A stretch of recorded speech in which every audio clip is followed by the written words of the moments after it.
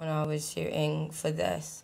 It was really fun. We found some wicked clothes. I, and, I like, saw them. Yeah, very nice. it was two awesome. pictures. One and, red. like, and- I loved the idea with the shovel and yeah. oh my god, it was just sick. It was it was brilliant and it was really really something that I felt really comfortable doing. Mm, And he always makes me jump about.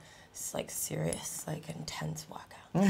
but there's always something incredible, always something incredible around the corner once you're done. And you feel it definitely Mm, when it's mm. happening. It's like, yeah, it's a good day. It's a good day. Yeah. It's always over so quickly. And after a while, you're like hypnotized, like a drug, or something. He gives her a rhythm, you know, and uh, everything like works very smooth, very Yeah. easy, and very deep. Also, Yeah. I don't know. I felt very well.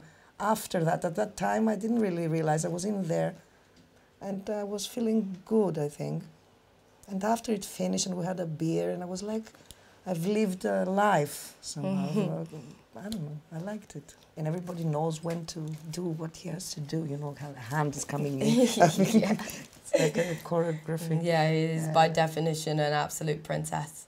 It's, it's absolutely hilarious. It's good though. It's so good. It's like a real family. And you feel like no matter what, nothing can really go that wrong. Even Mm. if it's just you falling over a little bit, just like throwing too much powder on people. And then there's like an hour cleanup. Yeah, it's always awesome. It's always fun. I'm so excited. I'm so excited. And like, guys, everyone that was working on this has been so like wonderful. Even though it was just a day, it was like a really fun day and really Mm. felt like I had fun and connected with everyone.